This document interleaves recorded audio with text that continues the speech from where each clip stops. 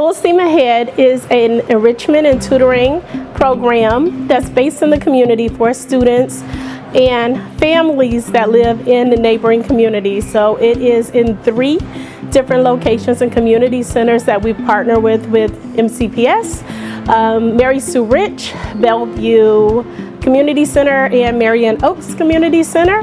Students are invited to come in from surrounding areas after school. They'll come in and get homework help. They also get to do a circle time when they come in and work on resiliency strategies.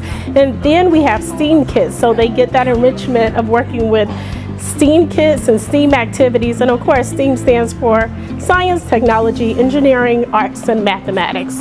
And they get to do all of this with certified teachers from our classrooms and from our schools in the local area and also the family engagement team.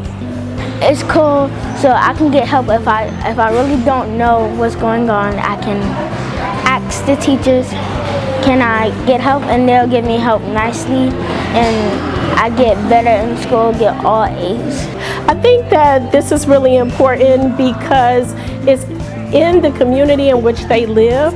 And so especially a place like Mary Sue Rich, we have um, parents that are able to work out and be able to take care of their own mental health, but then get help for their children as well in somewhere that is embedded in the neighborhood, that is a hub of the community when you look at our community centers. So it's very, um, convenient for families is really important as well. And then students being able to have somewhere to go after school for those that can't stay at school and get tutoring or enrichment opportunities. This is also a free program. They get a snack while they're here and they really have built great relationships with the teachers in each of the community centers. How long have you been coming for?